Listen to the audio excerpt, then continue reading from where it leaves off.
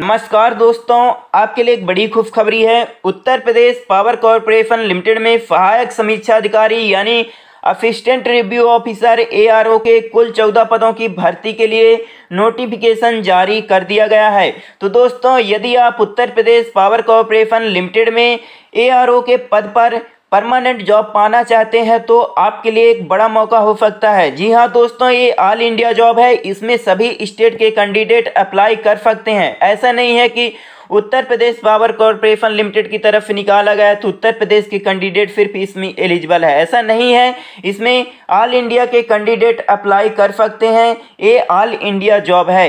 तो दोस्तों, इस वीडियो में हम बात करने वाले हैं पोस्ट के बारे में। सैलरी आपकी कितनी रहेगी?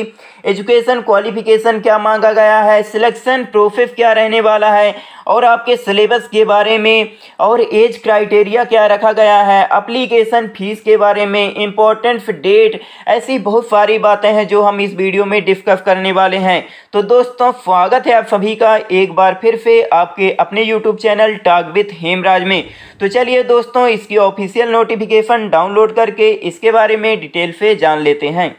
जैसा कि आप यहाँ देख सकते हैं दोस्तों, Uttar Pradesh power corporation limited हेतु समूह ग के अंतर्गत सहायक समीक्षा अधिकारी यानी एआरओ असिस्टेंट रिव्यू ऑफिसर के पद की भर्ती के लिए ए नोटिफिकेशन निकाला गया है। भारतीय नागरिकों से आवेदन केवल ऑनलाइन माध्यम के द्वारा आमंत्रित किए गए हैं। मतलब कि ये ऑल इंडिया जॉब है, इसमें सभी स्टेट के कैंडिडेट अप्लाई कर पाएँगे। फिर इसके बाद आपको यहाँ पास पोस्ट देखने के लिए मिल जाएगी। तो जनरल कैटेगरी के लिए नौ पोस्ट हैं ईडब्ल्यूएस e के लिए एक भी पोस्ट नहीं है ओबीसी के लिए तीन पोस्ट हैं और एससी के लिए दो पोस्ट हैं एसटी के लिए एक भी नहीं है।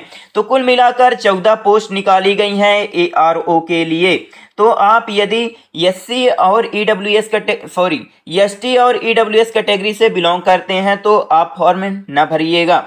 फिर इसके बाद आपको यहाँ पास वेतन देखने के लिए मिल जाएगा तो आपको वेतन छत्तीस हज़ार आठ सौ रुपये पर मंथ दिया जाएगा।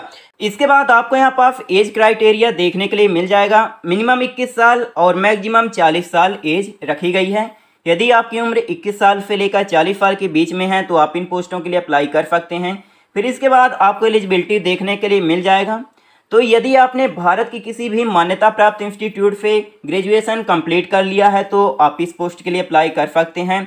और साथ में कंप्यूटर पर हिंदी टंकण में कम से कम थर्टी वर्ड मतलब कि तीस शब्द प्रति मिनट आपकी स्पीड है तो आप इस पोस्ट के लिए अप्लाई कर सकते हैं, आप एलिजिबल हैं। फिर इसके बाद आपको यहाँ पास चयन प्रक्रिया यानी फ्लेक्शन प्रोसेस देखने के लिए मिल जाएगा। तो यहाँ पास जो आपकी लिखित परीक्षा होती है तो उसके दो पार्ट होते हैं। फ़र्स्ट पार्ट में कंप्यूटर ज्ञान से संबंधित प्रश्न पूछे जाते हैं और पचास प्रश्न पूछे जाएँगे और हर एक प्रश्न एक नंबर का मतलब कि पचास नंबर का आपका पेपर होगा। गलत आंसर के लिए वन फोर्थ की कटौती भी यहाँ की जाएगी। इस पेपर में कम से कम आपको 20 अंक लाना बहुत ज़रूरी है, तभी आप दूसरे पेपर के लिए क्वालिफाई कर पाएँगे। फिर इसके बाद आपका, जब आप फ़र्स्ट पार्ट में क्वालिफाई कर लेंगे तो फिर आपका द्वितीय पार्ट होगा। तो द्वितीय पार्ट में समान अध्ययन से 20 प्रश्न पूछे जाएँगे 20 नंबर के। तार्किक ज्ञान से 40 क्वेश्चन पूछे जाएँगे 40 नंबर के। सामान्य हिंदी से 70 क्वेश्चन पूछे जाएँगे 70 नंबर के। सामान्य अंग्रेज़ी से 70 क्वेश्चन पूछे जाएँगे 70 नंबर के। और हर एक प्रश्न एक नंबर का रहने वाला है और वन फोर्थ की कटौती की जाएगी। जब आप दूसरे पार्ट में भी क्वालिफाई कर लेंगे तो फिर आपकी मेरिट लिस्ट तैयार की जाएगी और फिर आपको हिंदी टंकड़ मतलब कि कंप्यूटर टाइपिंग टेस्ट के लिए बुलाया जाएगा और जब आप उसमें क्वालिफाई कर लेंगे, तब आपका फाइनल सिलेक्शन हो जाएगा। फिर इसके बाद आपको यहाँ पास एज में छूट भी दी जा रही है। यदि आप एस सी या ओ बी कैटेगरी से बिलोंग करते हैं और उत्तर प्रदेश के मूल निवासी हैं तो आपको पाँच साल की एज में छूट मिलेगी। यदि आप अदर स्टेट से बिलोंग करते हैं तो आपको एज में छूट नहीं मिलेगी।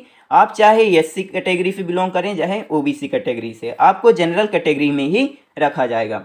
फिर इसके बाद आपको यहाँ पास अप्लीकेशन फ़ीस देखने के लिए मिल जाएगा।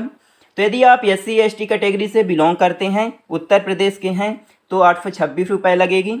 और यदि आप जनरल कैटेगरी और ओ बी सी कैटेगरी और ई डब्ल्यू एस कैटेगरी से बिलोंग करते हैं तो आपको ग्यारह सौ अस्सी रुपये फ़ीस देना पड़ेगा।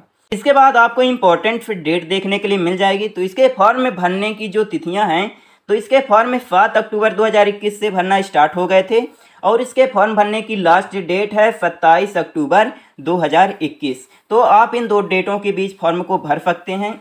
तो दोस्तों, यदि आपको वीडियो अच्छी लगी हो तो please like, share and subscribe करना ना भूलें। आपका बहुत बहुत धन्यवाद।